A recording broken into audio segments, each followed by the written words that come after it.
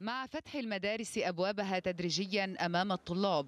يحسب طوني يعقوب ألف حساب قبل إرسال أولاده الثلاثة إلى المدرسة. هو يفضل إبقائهم في المنزل للتعلم عن بعد على تعريضهم لخطر الإصابة بفيروس كورونا.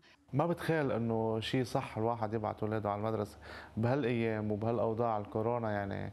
كرمال إصابة وقفوا مدارس. هلأ اليوم 1500 1600 يعني كيف ما بعرف كيف عم بيفكروا وعلى وقع قرار وزير التربية بفتح المدارس وقرار آخر لوزير الداخلية بعزل 169 بلدة لبنانية تشهد تفشيا للوباء. فتحت مدارس أبوابها. أخرى بقيت مغلقة في نطاق البلدات المعزولة. ومدارس فضلت الانتظار. ريثما تستتب الأوضاع الصحية لتفتح من جديد.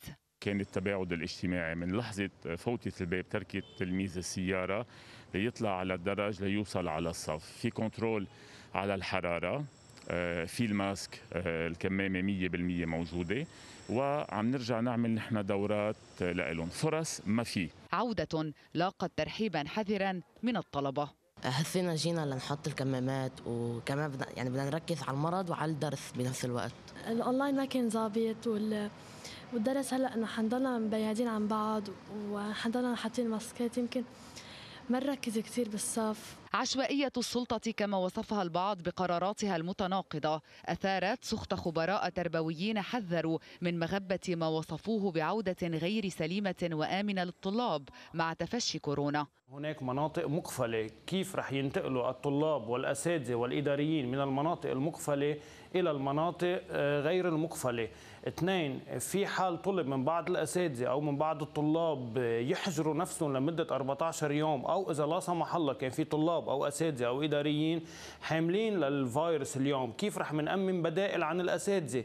كيف رح منأمن التعليم إلى هؤلاء الطلاب؟ وزير داخلية يعزل بلدات لبنانية بسبب تفشي كورونا ووزير تربية يفتح المدارس رغم تفشي الوباء.